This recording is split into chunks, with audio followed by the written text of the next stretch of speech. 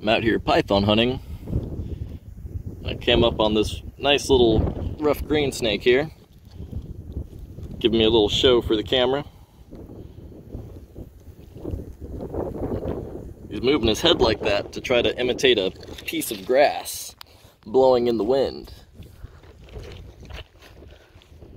But he's out here in the middle of the road, so he's not fooling anybody.